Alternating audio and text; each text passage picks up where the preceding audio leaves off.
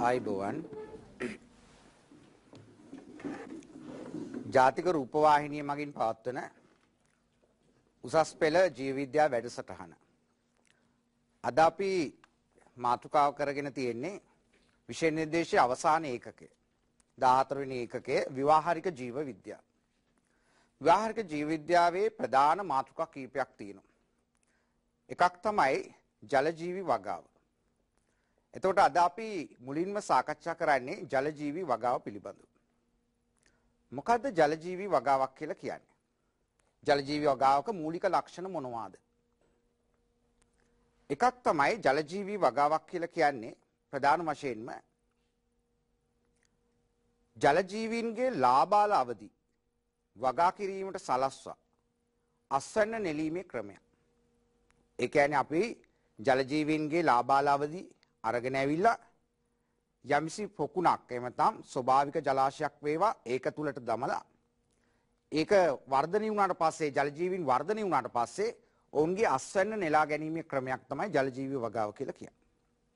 එහෙනම් ජලජීවි වගාවේ පළවෙනි ලක්ෂණයක් තමයි ඒ ජලජීවීන්ව වගා කිරීමට සලස්වා ලාබාලවදී වගා කිරීමට සලස්වා ඔවුන්ගෙන් අස්වැන්න නෙලා ගැනීම.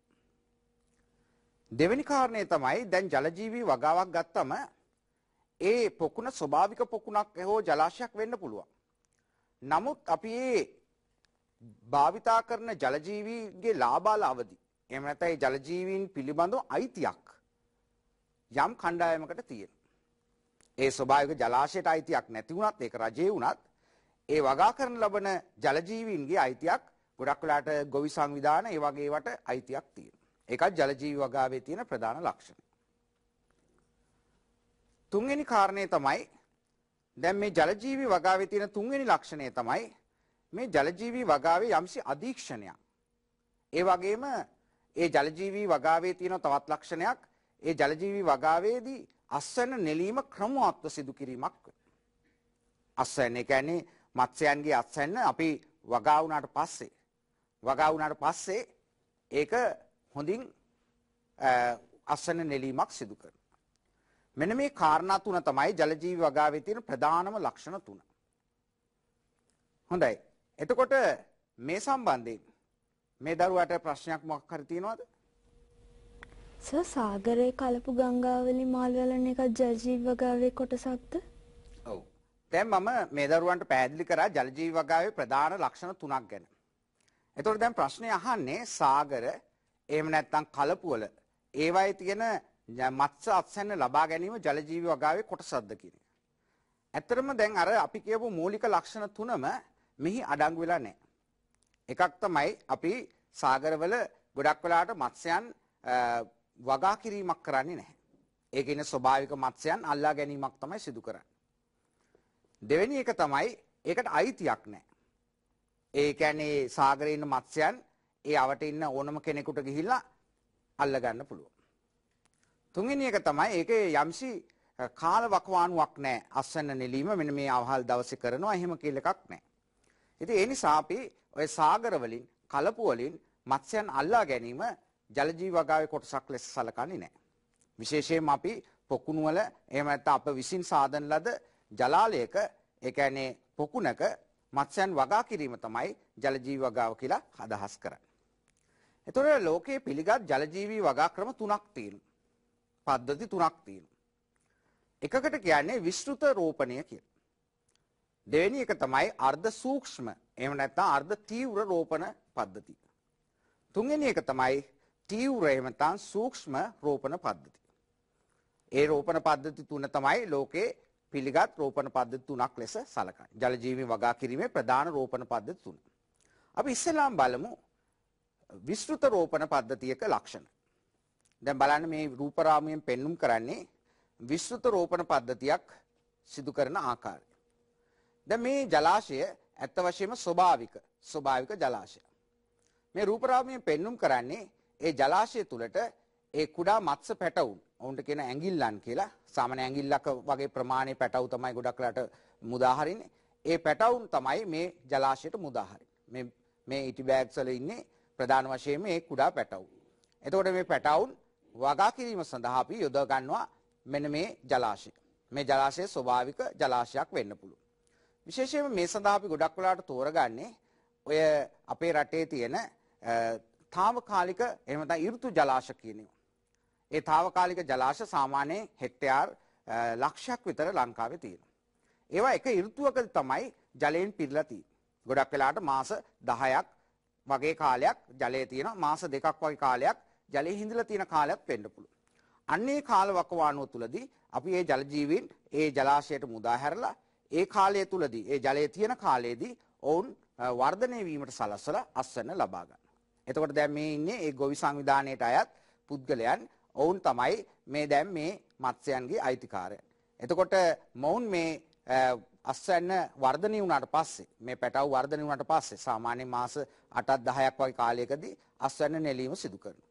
එතකොට මේ අස්වැන්නේ අයිතියත් මොවුන්ට තමයි අයිති වෙන්නේ.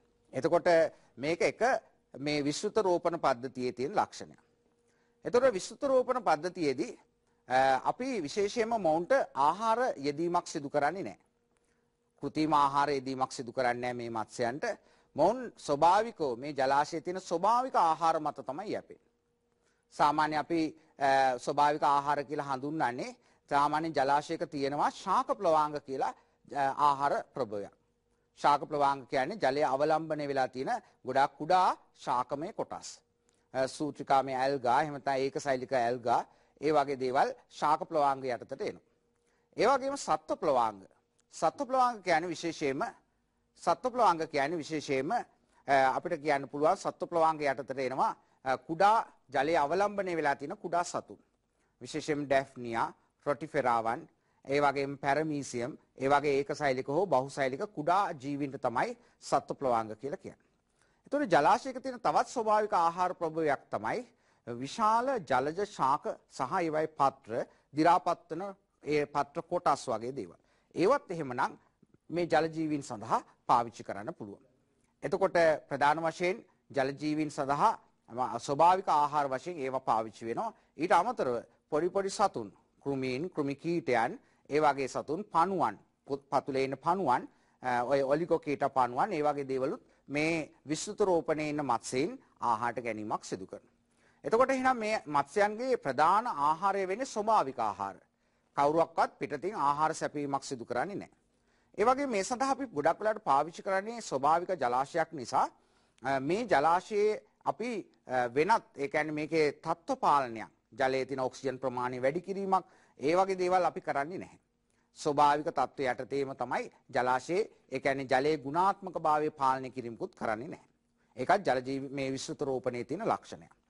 තවත් ලක්ෂණයක් තමයි අපි රෝග පාලනය කිරීමක් එහෙම කරන්නේ නැහැ.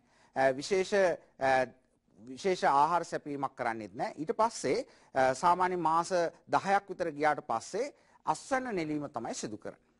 දැන් මේ වගේ ජලාශයක අස්වැන්න අපිට සම්පූර්ණයෙන්ම නෙලීමක් විතර නෙමෙයි කොටස් වශයෙන් නෙලීමක් සිදු කරන්න පුළුවන්. එතකොට මේ රූපරාමයෙන් පෙන්눔 කරන්නේ ඒ අස්වැන්න නෙලන ආකාරය. දැන් මේ පෙන්눔 කරන්නේ ඒ වගේ ජලාශයක අස්වැන්න නෙලන ආකාරය. දැන් ඒ සඳහා අපි පාවිච්චි කරනවා දැල්.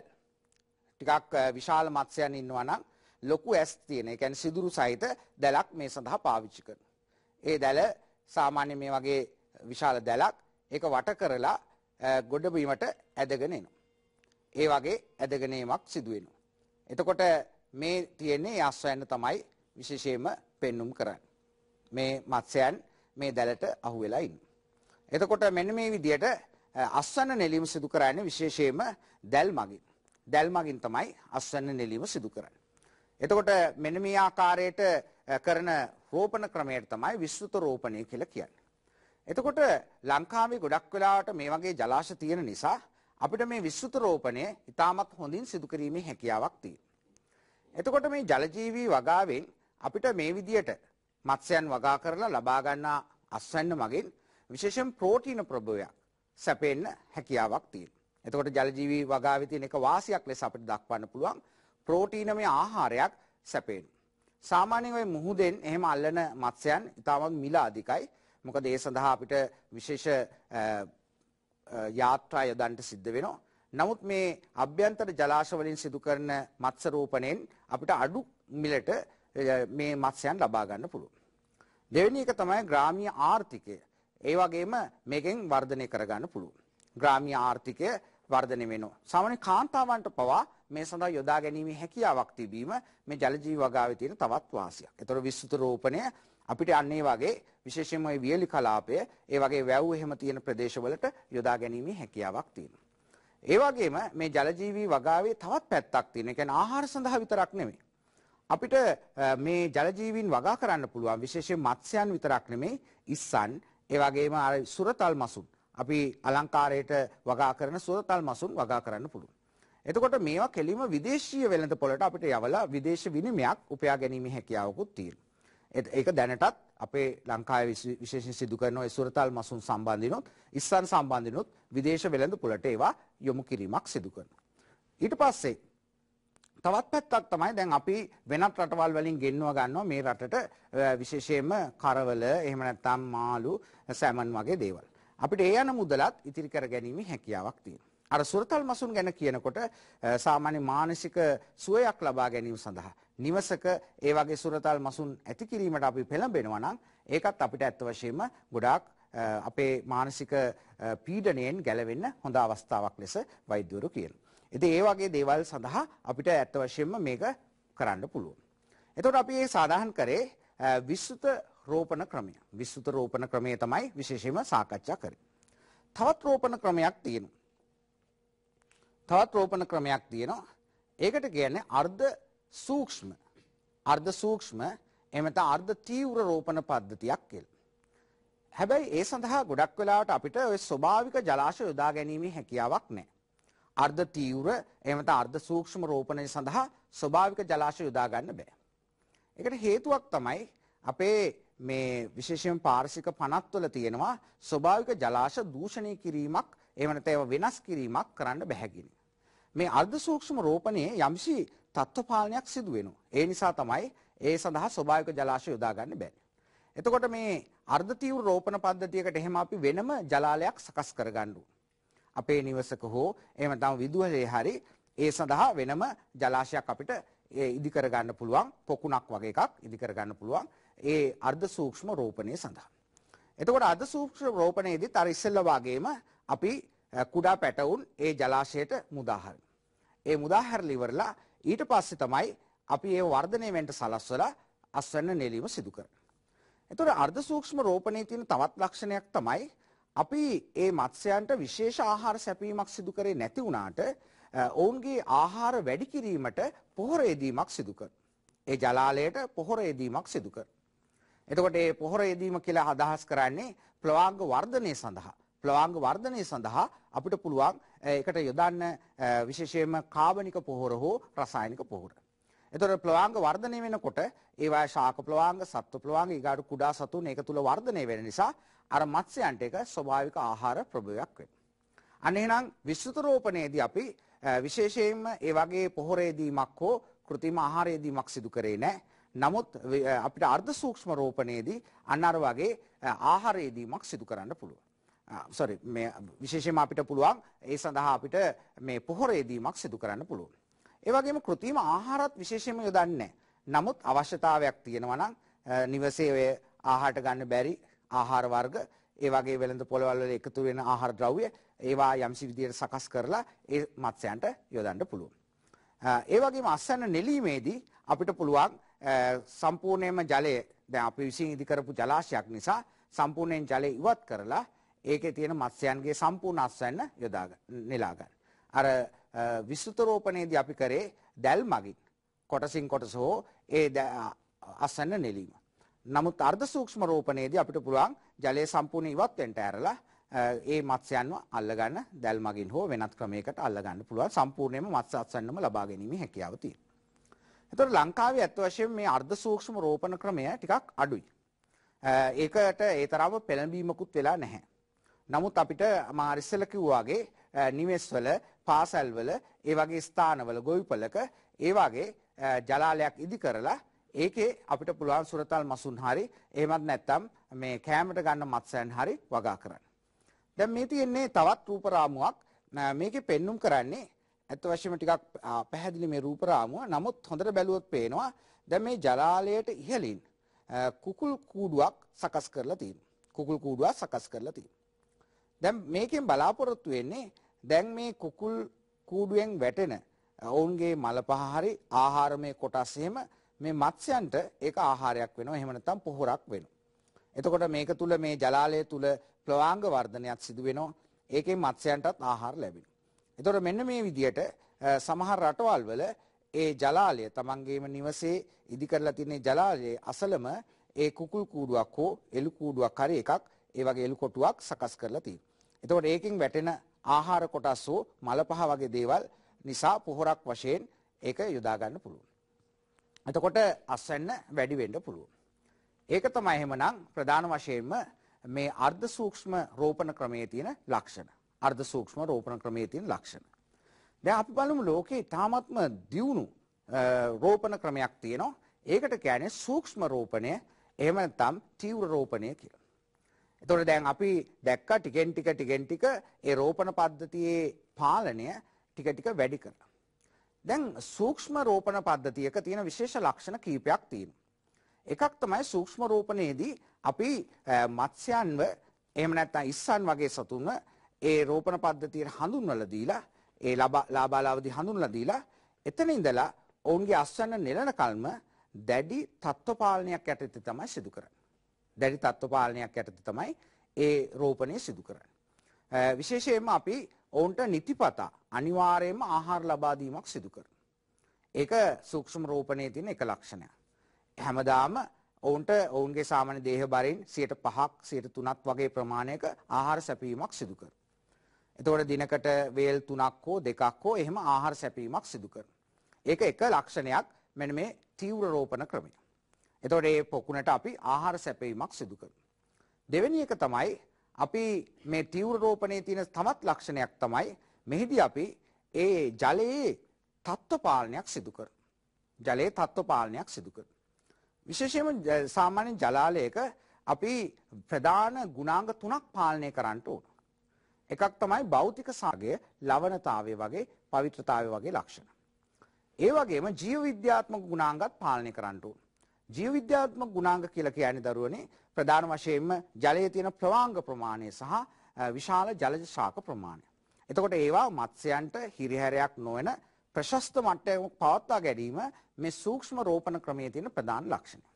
විශේෂයෙන් බොරතාවේ මගින් මොන වගේ දේවල් ඇති වෙන්න පුළුවන්ද? බොරතාවේ කියලා කියන්නේ විශේෂයෙන්ම ඔය වැලි අංශු, මැටි අංශු, එහෙම නැත්නම් හියුමස් වගේ ප්‍රමාණයන් තියෙනකොට ඒ ජලයේ ප්‍රධාන වශයෙන්ම මේ පැහැදිලි බවක් නැති වෙනවා. එතකොට ආලෝකයේ විනිවිදයන් නැති වුණාම නිෂ්පාදිතතාවය අඩු වෙලා මත්ස්‍යයන්ට ආහාර හිඟයක් ඇති වෙන්න පුළුවන්. දෙවෙනුව ඔය කරමල් වගේ කොටස් තුල ඒ බොරතාවයට හේතු වන අංශු ගිහිලා හිර වෙලා උන්ට කරමල් රෝග ඇති වෙලා මරණයටපත් වෙන්න පුළුවන්. එතකොට අන්න ඒ වගේ හේතුත් බලපානවා ප්‍රධාන වශයෙන්ම මේ බොරතාවය. ඒකෝ බොරතාවේ ඕනට වඩා වැඩි වුණොත් අපි මොකද කරන්නේ? අපිට පුළුවන් ඒ ජලාශයට ඇලම් එහෙම නැත්නම් ඇලුමිනියම් සල්ෆේට් කියන ඒවා යොදන්න. එතකොට ප්‍රධාන වශයෙන්ම ජලයේ තියෙන අර අවලම්බනය වෙලා තියෙන මැටි අංශු ඒවා ජලාශය පතුලේ තැන්පත් වීමක් සිදු වෙනවා. එතකොට බොරතාවේ අඩු වෙනවා. ඒ වගේම තවත් දෙයක් අපි කිව්වා උෂ්ණත්වය. උෂ්ණත්වය සාමාන්‍ය ප්‍රශස්ත මට්ටමක ඒ වගේ සූක්ෂම රෝපණයක තියාගන්න ඕන. උෂ්ණත්වය සාමාන්‍ය පාලනය කිරීමට අපිට කරන්න පුළුවන් දෙයක් තමයි. සාමාන්‍ය උෂ්ණත්වය තියෙන්න ඕන ප්‍රමාණය අංශක සෙල්සියස් අංශක 23ත් 32ත් වගේ ප්‍රමාණය. එතකොට ඒ ප්‍රමාණය පාලනය කරන්න දැන් ලංකාව වගේ ඝර්ම කලාප රටවල් විශාල උෂ්ණත්ව වෙනස් වීම සිදු වෙන්නේ නැහැ ඍතු ભેදයක් නැති නිසා. නමුත් සාමාන්‍ය දිවා සහ රාත්‍රී කාල අනුව වෙනස් වෙන්න පුළුවන්. ඒ අනුව අපිට උෂ්ණත්වය ටිකක් වැඩි කාලයේදී පාලනය කරන්න පුළුවන් ජල මට්ටම වැඩි කිරීමෙන් හෝ ජලය හොඳට කැළතීම මගින්. දැන් මේ රූප සටහනෙන් පෙන්눔 කරන්නේ ඔයගලන්ට ප්‍රධාන වශයෙන්ම මේ සූක්ෂම රෝපණ පද්ධතියක තියෙන ලක්ෂණය. මේ සූක්ෂම රෝපණ පද්ධතියක් තමයි මේකෙන් පෙන්눔 කරන්නේ. මේ වගේ විශේෂයෙන් සකස් කරන ලද ජලාල පද්ධතියක් මේකේ තියෙනවා. ඒවයි මත්ස්‍යයන් අපිට මේ රූප රාමුවේ පෙන්눔 කරනවා. ඒ වගේම ඔක්සිජන් සැපීම, ඒ වගේම ආහාර සැපීම, ඒ වගේම අවශ්‍ය විදියට ආලෝකය සකස් කිරීම, ඒ සියලුම කරුණු මේ ටැංකි වලට එහෙම තමයි ජලාල වලට සකස් කරලා තියෙනවා. එතකොට මෙන්න මේ වගේ දැඩි තත්ත්ව පාලනයක් යටතේ තමයි විශේෂයෙන්ම මේ වගේ සූක්ෂම රෝපණ පද්ධතියක සිදු කරන්නේ. එතකොට අපි කිව්වා ප්‍රධාන වශයෙන්ම මේ ජලය කැළතීමක් ගැන. මෙන්න මේ වගේ ජලය යාන්ත්‍රික කැළතීමක් සිදු කරනවා සූක්ෂම රෝපණ පද්ධතියක. එතකොට මේ විදිහට කැළතෙනකොට එක පැත්තකින් ඔක්සිජන් දිය වෙනවා ජලයේ අර ඔක්සිජන් හිඟේ එතකොට අඩු වෙනවා තවත් පැත්තකින් ජලය සිසිල් වීමකුත් සිදු වෙනවා. එතකොට මෙන්න මේ කරුණු දෙකටම මේ ජලයේ යාන්ත්‍රිකව කැළතීම ඉතාමත් වැදගත් වෙනවා. එතකොට මෙන්න මේ විදිහට ජලයේ තත්ත්ව පාලනයේදී pH අගේ පාලනය කිරීමත් හරි වැදගත් වෙනවා. pH අගේ කියන්නේ ජලයේ දිය වෙලා තියෙන අමතර හයිඩ්‍රජන් අයන සාන්ද්‍රණය හෝ OH අයන සාන්ද්‍රණය. එතකොට මේ pH අගේ පාලනය කිරීමේදී විශේෂයෙන්ම අපි පාවිච්චි කරන දෙයක් තමයි Uh, pH අපි ගොඩක් වෙලාට වෙන්නේ අඩු වෙන. ඒ කියන්නේ ආම්ලික වෙනවා. Uh, pH අගේ තියෙන්න ඕන ගොඩක් වෙලාට මත්ස්‍ය පොකුණක pH 6.5ත් 9ත් අතර. ඒ කියන්නේ උදාසීන මට්ටමේ වගේ තමයි තියෙන්න ඕන. එතකොට ඕනකට වඩා අඩු වෙන්න පුළුවන් ගොඩක් වෙලාට මේ මත්ස්‍යයන්ගේ මල පහ uh, ඔවුන්ගේ බහිස්ත්‍රාවී ද්‍රව්‍ය එකතු වීම නිසා. ඒ නිසා අපිට පුළුවන් ඒකට පිලිස්සුණු අලුහුණු එකතු කරන්න ජලයට. ඒ පිලිස්සුණු අලුහුණු මගින් pH අගේ යම්සි ප්‍රමාණයකට වැඩි කරගන්න පුළුවන් ප්‍රශස්ත මට්ටමට ගන්න පුළුවන්. එතකොට අන්නේ වගේ pH අගේ පාලනය කිරීමකුත් මේ සූක්ෂම රෝපණ පද්ධතියක විශේෂයෙන්ම සිදු කරනවා. ඊට පස්සේ රෝග පාලනයකුත් සිදු කරනවා. රෝග පාලනය කියන්නේ සාමාන්‍ය මත්ස්‍යයන්ට වැළඳෙන ප්‍රධාන පරපෝෂිත රෝග ව්‍යාජනක රෝග තියෙනවා. ඒවා මුලින් ඉඳලම හඳුනාගෙන මත්ස්‍යයන්ගේ හැසිරීම මගින් එහෙම හඳුනා ගන්න පුළුවන්. ඊට පස්සේ ඔවුන් වෙන් කරලා හෝ ඒ ජලයේ රසායන ද්‍රව්‍ය කවලම් කරලා ඔවුන්ට අවශ්‍ය ප්‍රතිකාර ලබා දීමත් කරන්න පුළුවන්. එතකොට අවසානයේදී අස්සන්න නෙලීම සිදු කරන්නේ කොහොමද? අවසානයේදී අස්සන්න නෙලීමක් සිදු කරන්න පුළුවන් ප්‍රධාන වශයෙන්ම මෙන්න මේ විදියට ජලය ඉවත් කරලා දැන් මේවා ටැංකි අපි විසින් සකස් කරපු ඒවා නිසා ජලය සම්පූර්ණයෙන් බේරලා හැරලා ඒකෙන් මත්ස්‍ය අස්සන්න ලබා ගන්න පුළුවන්. එතකොට මෙන්න මේ විදියට අපිට පුළුවන් රෝපණ පද්ධති තුනක් ගැන විශේෂයෙන් සඳහන් කරන්න. මොනවද මම කියපු රෝපණ පද්ධති තුන? ඔව්. ඔව් විස්තර රෝපණය, අර්ධ සූක්ෂම රෝපණ පද්ධතිය සහ සූක්ෂම රෝපණ පද්ධතිය. අපි දැන් බලමු මේ රෝපණ පද්ධති තුනේ ප්‍රධාන වෙනස්කම් කීපයක් පිළිබඳව. ප්‍රධාන වෙනස්කම් කීපයක් පිළිබඳව බලමු. මේ සටහනෙන් පෙන්눔 කරන්නේ මේ රෝපණ පද්ධති තුනේ තියෙන එක වෙනසක්. ඒ තමයි ජලයේ මත්ස්‍ය ඝනත්වය. ඒ කියන්නේ ඒකීය ශේෂ්ඵලයක සිට මත්ස්‍යයන්ගේ සංඛ්‍යාව. දැන් විස්තృత රෝපණයේදී ඊටමත් අඩුයි. මොකද අපි ස්වභාවික ජලාශයකට ආහාර සැපයීමක් ජලයේ තත්ත්ව පාලනයක් කරන්නේ නැතුව සිදු කරන රෝපණයන් නිසා ඕනවට වඩා මත්ස්‍ය ඝනත්වයක් හදන්න බෑ. ඒකීය ශේෂ්ඵලයක ඉන්න මත්ස්‍ය ඝනත්වය අඩුයි විස්තృత රෝපණයේදී. එතකොට අර්ධ සූක්ෂමකයේදී අපි යම්සි විදියකට කෘත්‍රිම ආහාර සැපියේ නැතත් ආහාර වර්ධනය කිරීමට ප්ලවාංග වර්ධනය කිරීමට පොහොර යෙදීමක් සිදු කරන නිසා අන්න ඒ වගේ තත්ත්වයක් ඇති වෙන්න පුළුවන්. ඒ කියන්නේ තරමක් වැඩි අස්වැන්නක් ලබා ගන්න පුළුවන්. හැබැයි සූක්ෂම එකේදී මත්ස්‍ය ඝනත්වය ඉතාමත් වැඩි. මත්ස්‍ය ඝනත්වය ඉතාමත් වැඩි. මොකද අපි ජලයේ තත්ත්ව පාලනයක් සිදු කරන ඔක්සිජන් සැපීමක් කරන pH පාලනය කරනවා. ඒ වගේ දේවල් නිසා ජලයේ තත්ත්ව පාලනයක් එතනදී සිදු වෙනවා. ඊගාව එක තමයි අතිරේක ආහාර දීම. විසුත රෝපණයේදී අපි අතිරේක ආහාර ලබා දෙන්නේ නැහැ. ඒක එක ලක්ෂණයක් විසුත රෝපණයේදී. නමුත් අර්ධ සූක්ෂම රෝපණයේදී මොකද්ද අපි කරන්නේ? අවශ්‍යතාවය මත ඒ කියන්නේ ගොඩක් අපිට ඕන්ට පෙනී යනවා නම් මොන්ට ආහාර හිඟතාවයක් තියෙනවා කියලා අපිට එහෙමනම් ආහාර දෙන්න පුළුවන්. නමුත් සූක්ෂම රෝපණයේදී එහෙම නෙමේ නිතිපතා નિયમિત පරිදි ආහාර සපයනවා. සාමාන්‍යයෙන් අපි මේ ජල ජීවීන්ට ආහාර සකස් කිරීමේදී ගොඩක් වෙලාවට යොදා ගන්නවා ඔය පොල් පුනක්කු ඒ වගේම තිරිංගු ඇට වගේ ඒවා එහෙම නැත්නම් සහල් නිවුඩු වගේ ඒවා ඒ වගේ කොටස් මාළු කුඩු හෝ සතුන්ගේ ඉතිරි වෙන කොටස් එකතු කරලා හදපු ආහාරයක්. ඒකට තව අමතර විටමින් වර්ග එකතු කරලා හදපු ආහාරයක් අපිට සපයන්න පුළුවන් මේ මත්ස්‍යයන්ගේ වර්ධනය සඳහා.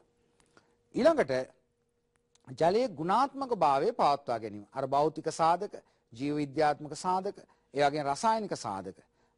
ඒක අපි විසුත රෝපණයේදී විශේෂයෙන්ම පාලනය කිරීමක් කරන්නේ නැහැ. සිදු නොකරයි. නමුත් අර්ධ සූක්ෂම රෝපණයේදී අවශ්‍යතාවය මත සිදු කරයි. සාමාන්‍ය ජලය ගොඩක් කොළ පාට වෙලා තියෙනවා නම් මාළු ටිකක් උඩට ඇවිල්ලා වායු බුබුලු ගිලිනවා වගේ දකිනවා නම් අපිට පුළුවන් ජලය ඉවත් කරලා අලුත් ජලය ඒ ජලාලයට පුරවන්න. නමුත් සූක්ෂම රෝපණයේදී එහෙම නෙමෙයි අනිවාර්යයෙන්ම අපේ උෂ්ණත්වය pH අගේ ඒ වගේම බොරතාවේ ඔක්සිජන් සාන්ද්‍රණය නිතිපතා පාලනය කිරීමක් සිදු කරනවා. ඒ වගේම අපි අස්වැන්න එහෙම නැත්නම් පළදාව ලබා ගන්නා ක්‍රම ගත්තොත් විසුතු රෝපණයේදී අනිවාර්යයෙන්ම දැල් මගින් තමයි අපි අස්වැන්න නෙලා ගැනීම සිදු කරන්නේ. ඊළාට අර්ධ සූක්ෂම රෝපණයේදී ජලයේ බේරා හැරීමෙන් පසු දැල් මගින් ලබා ගන්න. ඒ වගේම තීව්‍ර රෝපණයේදීත් එහෙමයි ජලය බේරා හැරීමෙන් පසු දැල් මගින් අපි මේ වගේ ලබා ගන්න. ඵලදාව ගත්තොත් එහෙම නැත්නම් අස්වැන්න ගත්තොත් ඉතාමත්ම අඩුයි විස්තර රෝපණයේදී. ඒ කියන්නේ අපිට ලැබෙන අස්වැන්න ප්‍රමාණය අපි හිතමු හෙක්ටයාරයකින් ලැබෙන මත්ස්‍ය කිලෝ ගණන අඩුයි. නමුත් අර්ධ අර්ධ සූක්ෂම එකේ තරමක් වැඩි වැඩිම අස්වැන්නක් ලැබෙන්නේ. මොකද අර මත්ස්‍ය ඝනත්වයේ එහෙම නැත්නම් ඉස්සන් ඝනත්වයේ වැඩි නිසා ප්‍රධාන වශයෙන්ම ඒකීය ශ්‍රේෂ්ඨ ඵලයක තියෙන වැඩිම ප්‍රමාණයක් අස්වැන්න ලැබෙන්නේ සූක්ෂම රෝපණ. දැන් මේ රෝපණ ක්‍රමවල වාසි අවාසි දෙපැත්තක් තියෙනවා. විශේෂයෙන්ම අපි තීව්‍ර රෝපණය ගත්තොත් එහෙම තීව්‍ර රෝපණයේ තියෙන එක වාසියක් අපි දැක්කා. ඒ තමයි අපිට ගුණාත්මක භාවයෙන් වැඩි ඒ වගේම වැඩි මත්ස්‍ය අස්වැන්නක් එහෙම නැත්නම් ඉස්සන් අස්වැන්නක් ලබා ගැනීමේ හැකියාවක් තියෙනවා. ඒක තමයි සූක්ෂම රෝපණය නැත්නම් තීව්‍ර රෝපණයේ තියෙන ප්‍රධාන වාසිය. නමුත් ඒකේ අවාසි පැත්තකුත් තියෙනවා. අපි දැක්ක ඒ ජලාශය පවත්වා ගැනීමට විශාල පිරිවැයක් සිදු කරන්නට සිද්ධ වෙනවා. ඒකට ඔක්සිජන් සැපීමට ඒක කැළතීමට ඒවා ජලාල සකස් කිරීමට ජලයේ ගුණාත්මක භාවය පාලනය කිරීම විශාල මුදලක් වැය කරන්නට සිද්ධ වෙනවා. එතකොට ඒ අනුව බැලුවොත් එහෙම මේ සූක්ෂම රෝපණයේ තියෙන අවාසි පැත්තක් ලෙස අපිට දක්වන්න පුළුවන් ඒ සඳහා විශාල ප්‍රාග්ධනයක් එහෙම නැත්නම් පිරිවැයක් ඒ වගේම හොඳ දැනුමකුත් තියෙන්න ඕන පාලනයකුත් තියෙන ඒ සඳහා යොදා ගන්නට සිද්ධ වෙනවා. නමුත් අපිට ඇත්ත වශයෙන් මේ රටට ගොඩක් ගැළපෙනවා තීව්‍ර රෝපණ මේ විස්තර රෝපණ ක්‍රමය. මොකද අපේ ජලාශ තියෙන නිසා මේ ප්‍රධාන වශයෙන්ම ස්වභාවික ජලාශ තියෙන නිසා අපිට ඒක විස්තර රෝපණයක් වශයෙන් පාවිච්චි කිරීමේ හැකියාව තියෙනවා. එතකොට අපි ඊළඟට අවධානය යොමු කරන්නේ මේ රෝපණ පද්ධතිවල වගා කළ හැකි මත්ස්‍ය විශේෂ කවරෙක්ද කියන එක. එහෙම නැත්නම් දැන් ජල ජීවීන් කව මත්ස්‍යයන් විතරක් නෙමෙයි. ඉස්සන් කකුළුවන් වගේ ජීවින් ඊට අමතර ජලජ ශාක වර්ග ඔය කැබොම්බා ඒ වගේම හයිඩ්‍රිල්ලා කෙකටිය පිස්ටියා එමතම් දිහාබරල වගේවා අපිට වගා කරන්න පුළුවන් ඒ ජලාශයක. ඒ වගේම බෙල්ලන් වර්ග දිපියන් බෙල්ලන් වර්ග ඒවත් වගා කරනවා මේ ජලජී වගාවදී. හැබැයි අපේ අවධානය වැඩි වශයෙන් මෙහිදී යොදාගන්නේ ආහාර ගන්නා මත්ස්‍යයින් සුරතල් මත්ස්‍යයින් සහ විශේෂයෙන්ම ඉස්සන් වගාව පිළිබඳව. දැන් ලංකාවේ ගොඩක් වෙලාට ඔය අපි කියපු තීව්‍ර රෝපණ පද්ධතිය ගත්තම ඒකෙදි ගොඩක් වෙලාට යොදාගන්නේ ඉස්සන් වගා. හැබැයි වෙනත් රටවල් වල විවිධ මත්ස්‍ය විශේෂ සඳහා තීව්‍ර රෝපණ ක්‍රම පාවිච්චි කරනවා. විශේෂයෙන්ම ලංකාවේ ප්‍රධාන වශයෙන් ඔය ඉස්සන් වගා කිරීම සඳහා අපි පාවිච්චි කරනවා ඔය වයඹ ප්‍රදේශයේ මුහුදු තීරේ විශාල ලොකු ඉස්සන් ෆාම් තියෙනවා. ඒ ඉස්සන් ෆාම් ඇත්ත වශයෙන්ම සකස් කරලා තියෙන්නේ ප්‍රධාන වශයෙන්ම අර වගේ ප්‍රධාන වශයෙන්ම කඩුලාන පරිසර පද්ධති වගේ ඒවා අතර තමයි ඒවා සකස් කරලා තියෙන්නේ. ඒවා විශේෂ සකසපු ජලාලවල තමයි සිදු කරන්නේ. හොඳයි දැන් අපි ඊළඟට අවධානය යොමු කරන්නේ අපේ මේ ජලජීව වගාව සඳහා යොදාගත හැකි සුදුසු මත්ස්‍ය විශේෂ සහ ඉස්සන් විශේෂ කීපයක් පිළිබඳව. විශේෂයෙන්ම අපි වැඩි වශයෙන් භාවිතා කරන මත්ස්‍ය විශේෂ කීපයක් තියෙනවා. එකක් තමයි මොසැම්බික් තිලාපියා. මේවා ගොඩක් වෙලා මේවා ඔක්කොම වාගේ විදේශීය රටවල් වලින් තමයි ගෙන්නගෙන තියෙන්නේ. විදේශීය රටවල් වලින් තමයි ගෙන්නගෙන තියෙන්නේ. එතකොට එක්කෙනෙක් තමයි මොසැම්බික් තිලාපියා.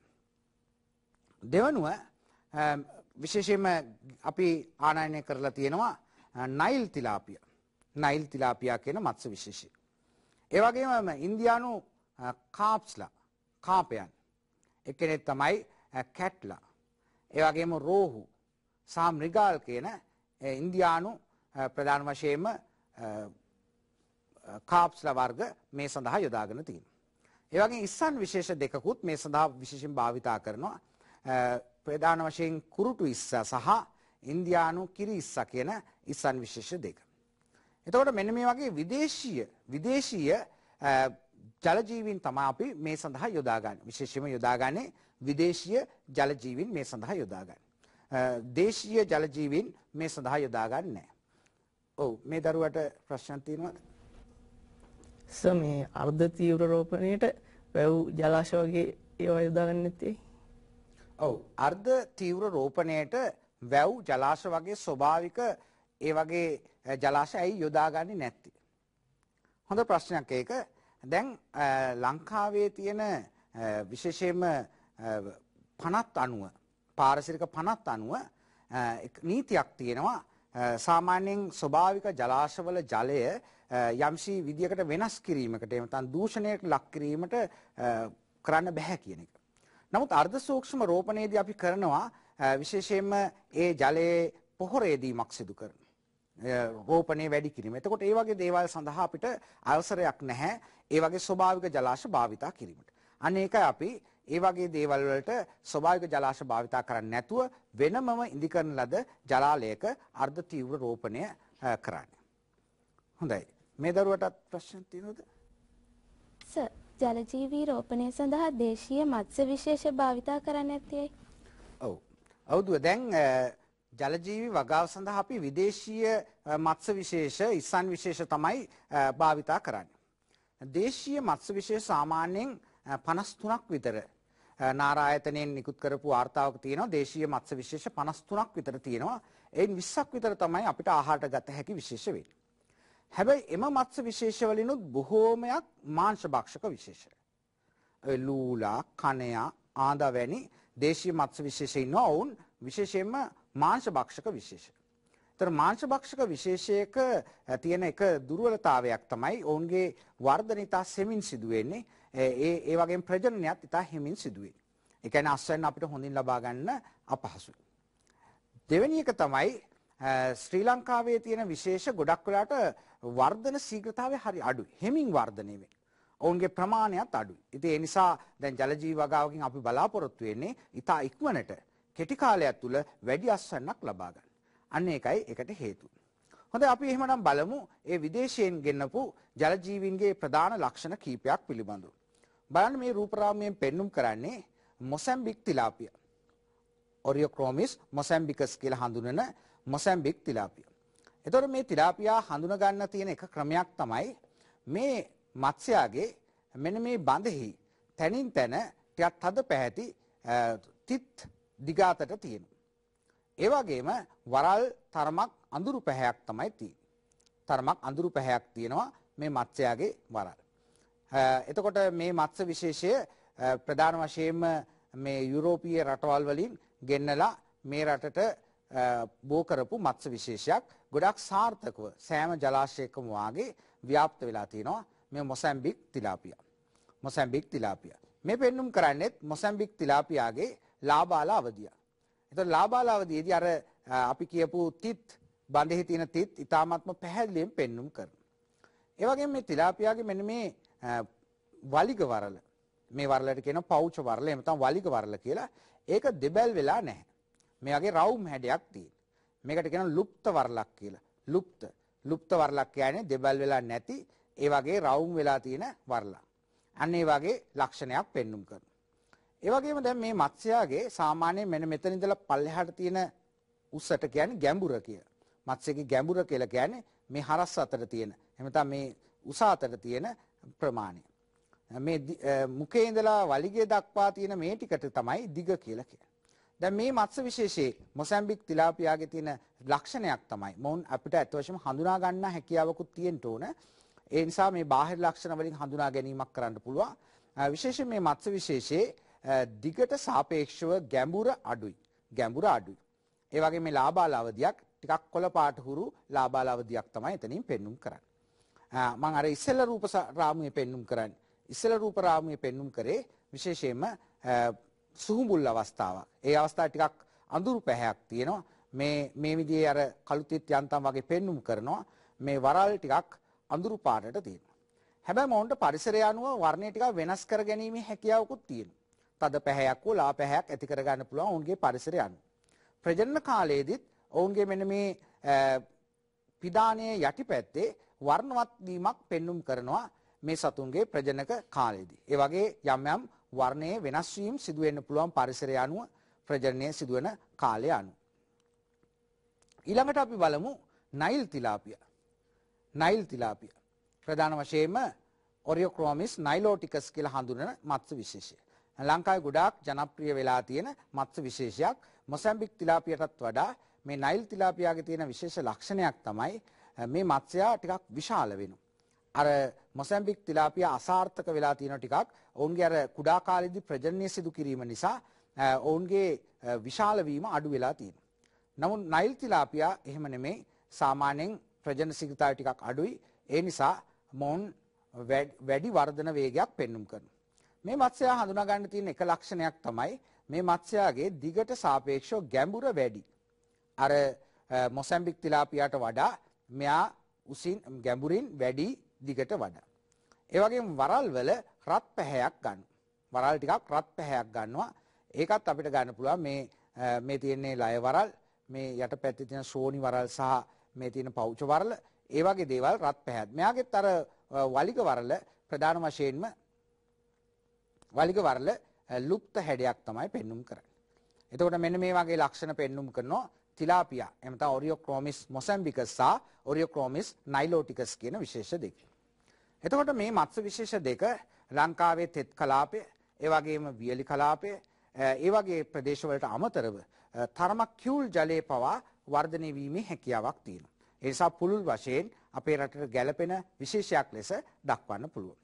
මාස 10ක් විතර යනකොට මේ තිලාපියා මත්ස්‍යයක් ග්‍රෑම් 700ත් 800ක් වගේ ප්‍රමාණයකට බර වැඩි වෙනවා. ඒටත් වඩා වැඩි කාලයක් ජීවත් වුණොත් ඒටත් වඩා විශාල මාංශ ලබා ගැනීමේ හැකියාවක් තියෙනවා. ඊළඟට අපි බලමු තවත් මත්ස්‍ය විශේෂ කීපයක් ප්‍රධාන වශයෙන්ම ඉන්දියානු කාපයන් පිළිබඳව. ඒට ඉස්සෙල්ලා අපි බලමු මේ ලක්ෂණ සංසන්දනයක් මොසැම්බික් තිලාපියා සහ නයිල් තිලාපියා පිළිබඳව. පළවෙනි එක තමයි දේහ හැඩය. මොසැම්බික් තිලාපියා දිගට සාපේක්ෂව ගැඹුර අඩුයි. නයිල් තිලාපියා දිගට සාපේක්ෂව ගැඹුර වැඩි. ඊළඟ එක තමයි දේහ වර්ණය. පරිසරය අනුව මේ දෙන්නම දේහේ වර්ණය වෙනස් කරගන්න. හැබැයි මොසැම්බික් තිලාපියාගේ වරල් ටිකක් කළු පැහැති, නයිල් තිලාපියාගේ වරල් රත් පැහැයක් ගන්න. ඒ වගේම දේහේ දික් අතට විහිදුණු කළු ලප කීපයක් තියෙනවා මොසැම්බික් තිලාපියාගේ. නමුත් නයිල් තිලාපියාගේ ප්‍රධාන වශයෙන් එයාගේ දෙහි ඉහළ සිට පහළට විහිදෙන තද පැහැති පටි කීපයක් තියෙනවා. ටිකක් තද පැහැති, ලා පැහැති පටි තියෙනවා. ඔන්න ඔයගේ ලක්ෂණ පෙන්눔 කරනවා. මොන්ගේ ආහාරමය වෙනස්කමුත් අපි දැන ගැනීම අවශ්‍යයි. මේ මොසැම්බික් තිලාපියා තමයි මේ පළවෙනි තීරුවේ පෙන්눔 කරන්නේ. ඔවුන්ගේ ආහාර වශයෙන් ප්ලවාංග, මේ දෙන්නගේම ආහාර ප්ලවාංග, කුඩා සතුන්, මෙයත් කුඩා ජලජ කෘමීන් අහට ගන්නවා. නමුත් මොසැම්බික් තිලාපියා දි รา පත් වෙන කොළ රොඩු වගේ දේවල්, ශාක ද්‍රව්‍ය වගේ ඒවත් අහට ගන්නවා. එයා ටිකක් සර්ව භක්ෂක පෝෂණයක් පෙන්눔 කරනවා. නයිල් තිලාපියා ප්ලවාංග භක්ෂක පෝෂණයක් පෙන්눔 කරනවා. ඒ අනුව බැලුවොත් ඔවුන් ඒ වගේ පෝෂණ විලාසයන් පෙන්눔 කරනවා. ඊළඟට අපි යමු ඊළඟට අපි යමු ඉන්දියානු කාපයන් ගැන සාකච්ඡා කරන්න. ඉන්දියානු කාපයන් තුන් දෙනෙක් මේ රූපේ පෙන්눔 කරන්නේ කැට්ලා. කැට්ලා කැට්ලා කියලා විද්‍යාත්මක නමින් හඳුන්වන කැට්ලා කියන මත්ස්‍ය විශේෂය. මෙයා හඳුනා ගන්න තියෙන ප්‍රධාන ලක්ෂණ දැන් මේ ඉන්දියානු කාපයන්ගේ මේ වලිග වරල දිහා බලන්න ඒක දෙබල් වීමක් පෙන්눔 කරනවා. මේක සමාංශ පුච්චය ඒ වගේ දෙබල් වීමක් පෙන්눔 කරනවා. ඒ වගේම එයාගේ මුඛය ඉහළට යොමු වනසේ තමයි පිහිටලා තියෙන්නේ. ඉහළට යොමු වනසේ පිහිටලා තියෙන්නේ. මෙයාගෙත් අර ගැඹුර වැඩි දිගට සාපේක්ෂව ටිකක් කිරිබත් කැටයක වගේ හැඩයක් ගන්න මත්ස්‍ය විශේෂයක් තමයි කැට්ලා. එතකොට ඉන්දියා ඉන්දියානු කාපයන් විශේෂයක් ලෙස අපිට කැට්ලා හඳුනා ගන්න පුළුවන්. එතකොට මේ පෙන්눔 කරන්නේ වගේ ජලාශයකින් අල්ලා ගන්නා ලද විශාල කැට්ලා මත්ස්‍යයක්. මෙයා නම් මාස 6ක් 7ක් නෙමෙයි අවුරුදු සාමාන්‍ය මත්ස්‍යයක අවුරුදු 10ක් විතර ජීවත් වෙනවා.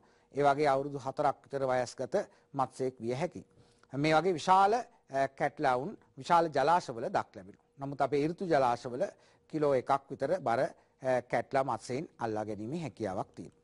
ඊළඟට අපි බලමු තවත් ඉන්දියානු කාපයෙක් රෝහු මත්ස්‍යයා පිළිබඳව. රෝහු ලේබියෝ රොහිටා කියලා හඳුන්වන රෝහු මත්ස්‍ය. මේ මත්ස්‍ය විශේෂයේ තියෙන එක ලක්ෂණයක් තමයි මෙයාගේ මුඛය ඉදිරියට යොමු වනසේ තමයි පිහිට. දැන් අපි ඉස්සෙල්ලා කතා කරපු කැට්ල මත්ස්‍යයාගේ මුඛය ඉහළට යොමු වෙලා තිබුණා මෙයාගේ ඉදිරියට යොමු වෙලා තියෙන්නේ. ඒ වගේම දේහ ටිකක් රත් පැහැයක් ගන්නවා මේ මත්ස්‍ය විශේෂය. රත් පැහැයක් ගන්න. මෙයාගෙත් වලිග වර්ල දෙබැල් වීමක් පෙන්눔 කරනවා. ටිකක් විශාල කොරපොතු දක්නට ලැබෙනවා. මේ පෙන්වන්නේ ඒ අග්‍රස්ත මුඛය පූර්ව දෙසට යොමු වෙලා තියෙන ආකාරය. මෙම රූප සටහනෙනු පෙන්눔 කරන්නේ ජලාශයකින් අල්ලා ගන්න ලද විශාල රෝහු මත්ස්‍යයෙක්. එතකොට මේ රෝහු මත්ස්‍යයෙක් විශාල රෝහු මත්ස්‍යයෙක් තමයි පෙන්눔 කරන්නේ. මේ රූප සටහනෙන් පෙන්눔 කරන්නේත් එවැනි රෝහු මත්ස්‍යයෙක්. බලන්න යාගේ මුඛය ඉදිරියට යොමු වෙලා තිබීම විශේෂ ලක්ෂණයක් හඳුනා ගැනීම සඳහා. දෙය ටිකක් රත් පැහැයක් ගන්නවා. ඒකෙනුත් අපිට හඳුනා ගැනීමේ හැකියාව තියෙනවා. මේ රෝහු මත්ස්‍යයන් සහ කැට්ලා මත්ස්‍යයන් එකිනෙක මිශ්‍ර වෙලා ඇතිවෙච්ච මත්ස්‍ය විශේෂත් ඉන්නවා. විශේෂයෙන් මේ උඩ රූප සටහනේ පෙන්눔 කරන්නේ කැට්ලා සහ රෝහු අන්තරාභිජන්යෙන් ඇතිවෙච්ච මත්ස්‍ය විශේෂය. අර මුකේට ඉහළට යොමු වෙලා තිබීම කැට්ලාගේ ලක්ෂණයක්. නමුත් රත් පැහැති දේහය රෝහුගේ ලක්ෂණය. ඒ වගේ ලක්ෂණ දෙක මිශ්‍ර වෙලා නියම කැට්ලාවෙක් තමයි පල්ලෙහා රූප සටහනේ පෙන්눔 කරන්නේ. දැන් අපි ඊළඟට බලන්නේ මේ මෘගාල්. අපි වගා කිරීම සඳහා යොදා ගන්නා සිරිනස් මෘගාලා කියන මත්ස්‍ය විශේෂය. මේ මත්ස්‍ය විශේෂයේ තියෙන එක ලක්ෂණයක් තමයි බලන්න මුඛයේ දෙස මුඛය පහළට යොමු වනසේ තමයි පිහිටලා තියෙන්නේ. දෙහි තව දිගටි, ඒ වගේම වලිග වර්ල දෙබැල් වෙලා තියෙනවා. ඒ වගේ ලක්ෂණ පෙන්눔 කරනවා. දෙහි ටිකක් ලා පැහැති, රිදි පැහැයක් වගේ පැහැයක් පෙන්눔 කරනවා. මේ රූප සරහණයෙන් පෙන්눔 කරන්නේත් ඒ වගේ ජලාශයකින් අල්ලා ගන්න ලද විශාල මෘගාල් මත්ස්‍යෙක් ඒ රූප සටහනේ හොඳට බලන්න මේ හඳුනා ගැනීමේ ලක්ෂණය තමයි මුඛයේ පහළට යොමු වනසේ පිහිටා තිබීම. එතකොට මෙන්න මේ ආකාරයට මත්ස්‍ය විශේෂ තුනක් අපි ඉන්දියානු මත්ස්‍ය විශේෂ පාවිච්චි කරනවා. අනුපම දුවට ප්‍රශ්නයක් තියෙනවද? සර් විදේශීය මත්ස්‍ය විශේෂ නිසා ඒක දේශීය මත්ස්‍ය විශේෂ වඳවීමේ තර්ජනයක් ඇති වෙන්න පුළුවන් නේද? ඔව් හොඳ ප්‍රශ්නයක් ඒක. විදේශීය මත්ස්‍ය විශේෂ අපේ රට හඳුන්වා දීමෙන් අපේ පාරිසරික වේදිනුත් ගොඩක් කියන දෙයක් තමයි මේ දේශීය මත්ස්‍ය විශේෂ වඳවීමේ තර්ජනයක් ඇති වෙන්න පුළුවන් කියන. නමුත් මේ පිළිබඳව පරේක්ෂණ කරලා තියෙනවා කැලණි විශ්වවිද්‍යාලයේ මහාචාර්ය උපාලි අමරසිංහ. මහාචාර්යවරයාගේ අදහස අනුව නම් ඇත්ත වශයෙන් මේ අපි මේ සඳහා පාවිච්චි කරන්නේ తాවකාලික ජලාශ. මේ විදේශී මත්ස්‍යයන් වගා කිරීම සඳහා ගොඩක් වෙලා යොදාගන්නේ తాවකාලික ජලාශ. එතකොට මේ తాවකාලික ජලාශවල හිඳී යාමක් සිදු වෙනවා. එක කාලයකට විතරයි ජලය තියෙන්නේ. එතකොට මේ දේශීය විදේශීය කියලා නෑ ඔක්කොම එතනින් ඉවත් වීමක් සිදු වෙනවා. අනිත් එක තමයි අපේ දේශීය විශේෂ ගොඩක් ඉන්නේ ගංගාවල. ඒ නිසා මේ ජලාශවල ඒ දේශීය විශේෂ සිටී කියලා හිතන්න අමාරු. ඉතින් ඒ නිසා දේශීය විශේෂ වඳවීමක් අපිට බලාපොරොත්තු වෙන්න බෑ. ඉතින් ඒ නිසා ඒ ඒකට අපිට කියන්න තියෙන ප්‍රධාන පිළිතුර තමයි දේශීය විශේෂ වලට කිසිම තර්ජනයක් ඇති වෙන්නේ මේ වගේ විදේශීය විශේෂ හඳුන්වා දීම මගින්. හොඳයි. අපි මේ මත්ස්‍ය විශේෂ තුන පිළිබඳව බලමු ප්‍රධාන වශයෙන්ම මේ මත්ස්‍යයන්ගෙන් ප්‍රධාන වශයෙන්ම මේ බිත්තර ලබා ගැනීම මේ ඉන්දියානු කාපයන්ගේ ප්‍රජනනය සාමාන්‍ය අපේ ස්වභාවික ජලාශවල සිද්ධ වෙන්නේ නැහැ. ඒ නිසා අපි වෙනම ඒ මත්ස්‍යයන් බෝ කරලා ඒ ඔවුන්ගේ පැටවුන් තමයි ජලාශවලට මුදා හරින්න ඕන. ඒතර ඉන්දියානු මත්ස්‍යයන් විශේෂයෙන්ම කාපයන් එකිනෙකා අතර අන්තරාභිජන්යෙන් ජනිතයන් බිහි කරන්නේ ලංකාවේ ස්වභාවික ජලාශවලදී. අපි එහිදී කරන දෙයක් තමයි ඒ බිත්තර සහ පැටවු ලබා ගැනීමට කරන දෙයක් තමයි සාමාන්‍යයෙන් බිත්තර සහිත ගැහැණු සතෙකුට වෙනත් ගැහැණු සතෙකුගෙන් ලබාගත්තු පිටියුටරි නිස්සාරකයක් ඒ වරලේ යටිපැත්තට එන්නත් කිරීමක් කරනවා. ලය වරලේ යටිපැත්තට එන්නත් කිරීමක් කරනවා. සාමාන්‍යයෙන් පැය කිහිපයක් ඇතුළතදී අර හෝමෝන හෝමෝන එන්නත් කිරීමක් කරන්නේ ඒ පැය කිහිපයක් තුළදී අර බිත්තර නිකුත් කිරීමක් සිදු කරනවා ජල ඒ පොඩි බේසමක් හව එකකට ඒ බිත්තර ස්වභාවිකව ඒ ගැහැණු සතා නිකුත් කරනවා. ඊට පස්සේ පුළුවන් අපිට පිරිමි සතෙක්ගේ ශුක්‍රාණු එකට එකතු කරලා ඒක සංසේචනයට ලක් කරලා ඒ අවශ්‍ය පැටවුල් ලබා ගන්න. එතකොට අන්නේ විදියට අපි ගොඩක් වෙලාට කෘතිම විදියට තමයි ඒ බිත්තර ලබා ගැනීම සිදු කරන්නේ. ස්වභාවික වුන් අභිජන්‍යයක් සිදු වෙන්නේ නැහැ. නමුත් අර පිටුවේ නිස්සාරකයේ වෙනුවට දැන් කෘතිම එන්නතකුත් තියෙනවා. ඒක ලබා දීලා පැය කිහිපයක් තුළදී ඒ ගැහැණු සතා විසින්ම බිත්තර පිට කිරීමක් කරනවා. ඒ නිසා අපිට අවශ්‍ය තරම් පැටවු ලබා ගැනීමේ හැකියාවක් තියෙනවා. මේ රූප සටහන දිහා බලන්න මේකෙන් පෙන්눔 කරන්නේ ඒ වගේ මත්ස්‍යයකට ප්‍රධාන වශයෙන් වරල උස්සලා යටිපැත්තට වරල යටිපැත්තට බඳ ප්‍රදේශයට ඒ අවශ්‍ය එන්නත ඇතුල් කරන අවස්ථාව. අප බලමු මේ මත්ස්‍යයන් විශේෂ තුනේ වෙනස්කම් මොනවද කියලා. කැට්ලා, රෝහු, මෘගාල්. මුකේ පිහිටීම තමයි ප්‍රධාන වශයෙන්ම හඳුනා ගැනීමට යොදාගන්නේ කැට්ලාගේ ඉහළට යොමු වනසේ පිහිටනවා මුකය. රෝහුගේ මුකේ ඉදිරියට යොමු වනසේ තමයි පිහිටන්නේ. මෘගාල්ගේ පහළට යොමු වනසේ තමයි මුකේ පිහිටන්නේ. දේ හැඩය ගත්තොතින් දිගට සාපේක්ෂව ගැඹුර වැඩි කැට්ලාගේ. රෝහුගේ දිගට දේහයක් මෘගාගේ දිගට දේහයක් තමයි තියෙන්නේ. වර්ණය ලා රත් පැහැති. විශේෂයෙන්ම කැට්ලා නමුත් රෝහු තරමක් රත් පැහැයට හුරුයි. ටිකක් රතු පාට ගතිය වැඩි. මෘගාල් අලු පැහැති. නමුත් මේ වර්ණය ඔවුන්ගේ පරිසරය අනුව වෙනස් වීමකුත් වෙන්න පුළුවන්. සූම්බුලන්ගේ ආහාර විලාසය හරි වැදගත් වෙනවා. බලන්න ප්‍රධාන වශයෙන්ම ශාක ද්‍රව්‍ය, දි รา පත් වන කොළ රොඩු, ප්ලවාංග, කුඩා සතුන්, සූත්‍රිකා මේ ඇල්ග තමයි විශේෂයෙන්ම කැට්ලා ආහාරයට ගන්න. රෝහු ආහාරට ගන්න ශාක ද්‍රව්‍ය දි รา පත් වෙන කොළ රොඩු. යා ශාක භක්ෂක කියලා හඳුන්වන්න පුළුවන්. හැබැයි කැට්ලා සහ රෝහු ගොඩක් දුරට එක වගේ ආහාර ගන්න. ඒ වගේ මෘගාල් සත්ව ප්‍රවාංග කුඩා සතුන් දි รา පත් වෙන කොළ රොඩු එයා ගොඩක් පතුලේ තියෙන සතුන් එහෙම ආහාරට ගන්න. එතකොට මෙන්න මේ වගේ වෙනස්කම් මේ සතුන්ගේ පෙන්눔 කරනවා. ඊළඟට අපේ අවධානය යොමු වෙන්නේ ඉස්සන් විශේෂ පිළිබඳව. ලංකාවේ ජලාශවල වගා කිරීම සඳහා ඉස්සන් විශේෂ දෙකක් හඳුන්වලා දීලා තියෙනවා. එක්කෙනෙක් තමයි කුරුටු ඉස්ස. මේ රූපසරාණි පෙන්눔 කරන්නේ කුරුටු ඉස්සා එහෙම නැත්නම් පිනේයස් මොනඩන් කියන විශේෂය. එයා හඳුනා ගැනීමට බලන්න එයාගේ ඒ උදරයේ ප්‍රදේශයේ උඩු පැත්තේ පෘෂ්ටිය පැත්තේ තද පැහැති හරස් පටි විශේෂයක් තියෙනවා. ටිකක් මේ නිසා කිරිසට වඩා විශාලයි. ඒ වගේම ටික අඳුරු පැහැයක් පෙන්눔 කරනවා. ඒ වගේම මේ හොඳින් වැඩිච්ච කුරුටු ඉස්සෙක් අපේ අත්ලටත් වඩා දිගයි. ඒ වගේ විශාල වර්ධනයක් පෙන්눔 කරනවා. ප්‍රධාන වශයෙන් ඉන්දියානු කිරි ඉස්සා ගත්තොත් සුදු පාටක් පෙන්눔 කරනවා. අර පිනේස් ඉන්ඩිකස්ට මේ පිනේස් මොනඩන්ට සාපේක්ෂව. මෙයාගේ විද්‍යාත් නම පිනේස් ඉන්ඩිකස්.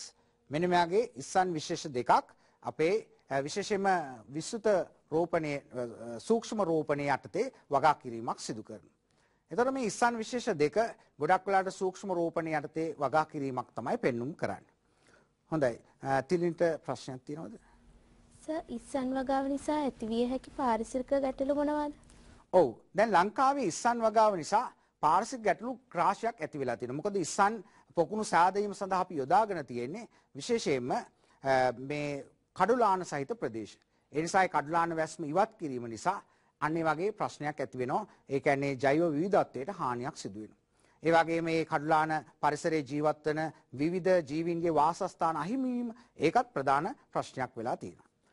තවත් ප්‍රශ්නයක් තමයි දැන් ඒ වගේ අපි වනවැස්මක් ඉවත් කරොත් කඩුලාන කියන්නේ වනවැස්මක් ඒක ඉවත් කරොත් එහෙම අපි ප්‍රධාන වශයෙන් බලාපොරොත්තු වෙන්න පුළුවන් පාංශු කාදනය වැඩි වෙලා ඒ රොන් මඩ එහෙම තැන්පත් වෙන්න පුළුවන් පහළ ප්‍රදේශවල තියෙන කොටස්වල.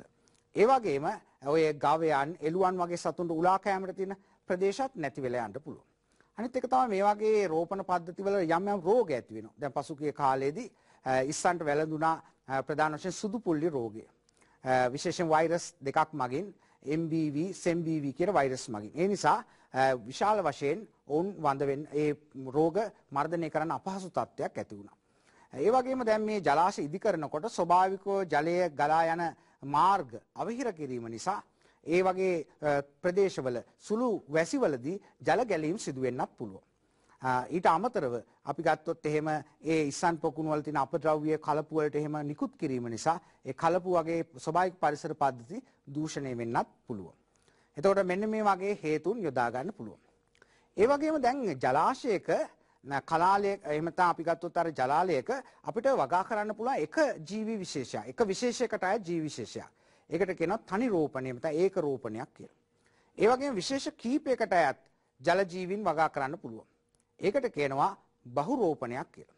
හැබැයි විශේෂ කීපයක් කිව්වට විශේෂයෙන්ම ඔවුන්ගේ නිකේතන වෙනස් වෙන්න ඕන නිකේතන වෙනස් වෙන්න ඕන ඒ නිකේතන අනුව ප්‍රධාන වශයෙන්ම වෙනස් නිකේතන ඒ කියන්නේ ආහාර වාසස්ථාන වෙනස් නිකේතන සහිත මත්ස්‍ය විශේෂ වගා කරන්න පුළුවන්. දැන් මේ දරුවන්ට හිතන්න පුළුවන් ද ඇයි ඒ වාගේ ඒ වාගේ මසුන් වගා කිරීමේ තියෙන ඒ කියන්නේ බහුරෝපණයේ තියෙන වාසිය මොකද්ද කියලා. ඒ කියන්නේ ඔවුන්ගේ ආහාර වෙනස් වෙනකොට ඒ පොකුණේ තියෙන සියලුම සියලුම ආහාර ප්‍රයෝජනට ගැනීමේ හැකියාව තියෙනවා. ඊට පස්සේ ඔවුන්ට හැකියාවක් තියෙනවා ප්‍රධාන වශයෙන්ම ඒ පොකුණේ තියෙන ප්‍රධාන වශයෙන්ම ස්වභාවික ආහාරවලට අමතරව ඒ වාසස්ථානත් ඉඩ ඉඩ හැමතැනම පාවිච්චි කරන්න. ඉතින් ඒ නිසා වැඩි අස්වැන්නක් ලබා ගැනීමේ හැකියාවක් තියෙනවා තනි රෝපණයට සාපේක්ෂව. එතකොට මෙන්න මේ ආකාරයට අපිට මේ ජලජීවි වගාව විශේෂයෙන්ම යොදා ගන්න පුළුවන්.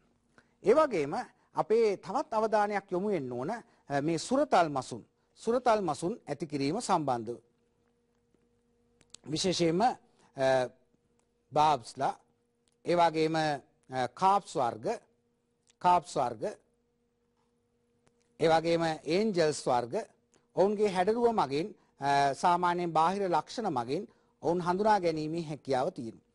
අ, ප්‍රධාන වශයෙන්ම අ, ගප්පි විශේෂ අ, මේ වගේ ගෝල්ෆිෂ් විශේෂ අපිට වගා කිරීමේ හැකියාව තියෙනවා. එතකොට ඒ වගේ සුරතල් මසුන් වගා කිරීමෙන් අ, විශේෂයෙන්ම දේශීය සහ විදේශ වෙළඳපොළට ඔවුන් නිකුත් කිරීමේ හැකියාව තියෙනවා. හොඳයි. අද අපි මේ දේශනය විශේෂයෙන්ම අ, සකස් කරේ අ, ප්‍රධාන වශයෙන්ම මේ ජලජීවී වගාව පිළිබඳව ව්‍යවහාරික ජීව විද්‍යාවේ එක කොටසක් පිළිබඳව.